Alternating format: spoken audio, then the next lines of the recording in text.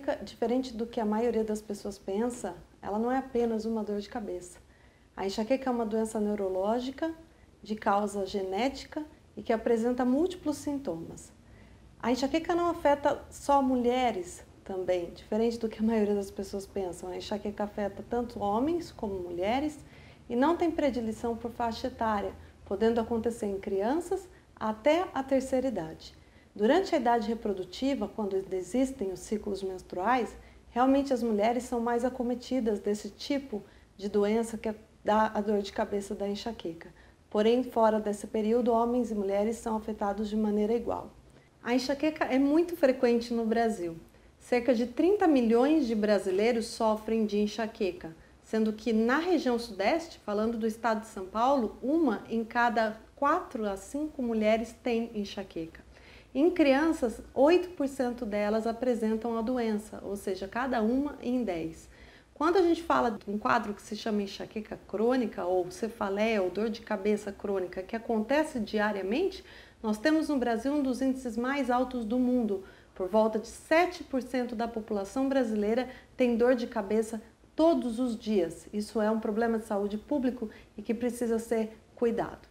A causa realmente da enxaqueca são genes de predisposição.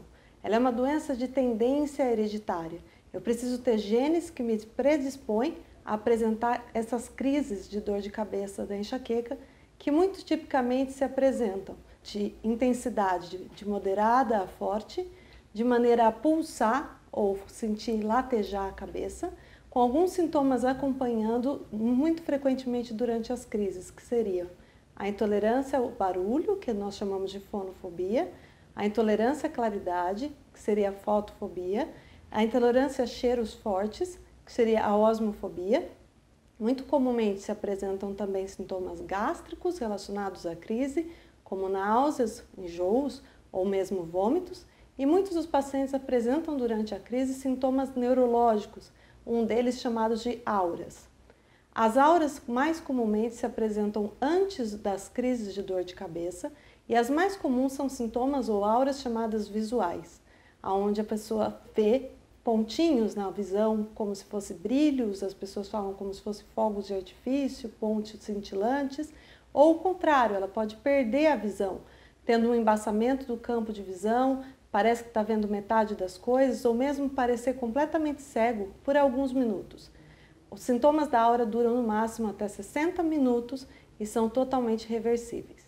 Outro sintoma muito comum associado às crises de enxaqueca neurológico é a tontura desde a tontura que o paciente vê tudo rodando ao seu redor, que chamamos de vertigem, até outros tipos de tontura, como se sentir mareado e em desequilíbrio.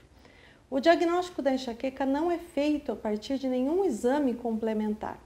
Portanto, não, para se diagnosticar a enxaqueca, não é necessário se solicitar tomografia de crânio, ressonância magnética ou eletroencefalograma. O diagnóstico da enxaqueca é clínico. O que é um diagnóstico clínico? é feito a partir da história ou do histórico do paciente, que é feito por um médico neurologista especialista. O histórico vai contemplar toda uma história familiar, a presença da enxaqueca em outras pessoas na família, como é a crise da dor de cabeça quando a enxaqueca acontece, como os sintomas vêm junto com essa crise, há quanto tempo e com que frequência estão acontecendo. A enxaqueca tem, tem um tratamento muito eficaz, mas não tem cura. Quando a gente fala em cura, a gente fala de uma doença que a partir de tratada ela não retornaria nunca mais, ela estaria curada. A enxaqueca é uma doença que tem controle, é isso que podemos dizer. E o tratamento é diferente. Nós temos o tratamento da crise, onde o paciente, na hora da crise, vai fazer o uso de medicações para aliviar os seus sintomas, tanto a dor de cabeça como os sintomas outros que não foram citados, e um tratamento mais importante que poucas pessoas sabem que existe, o tratamento da doença e o tratamento que previne que esses sintomas e que essas crises aconteçam, o que a gente chama de tratamento preventivo. Esse tratamento preventivo não é feito à base de remédios analgésicos ou anti-inflamatórios, é feito à base de medicações que usadas diariamente vão evitar que, dores, que as dores aconteçam e que são prescritos também pelo médico que vai acompanhar o quadro deste paciente. As recomendações para quem tem enxaqueca, a primeira delas é que não ache que é uma doença menor. Não acredite que você tem que viver com dor, que não tem nenhum tipo de tratamento disponível ou que simplesmente faça o tratamento só à base de analgésicos, ou seja, só se trate a, a dor no momento que ela acontece. O uso excessivo de analgésicos, pelo contrário, ele pode trazer mais dor. Ele é um fator importante em tornar a enxaqueca cada vez mais frequente, o que a gente chama de enxaqueca crônica.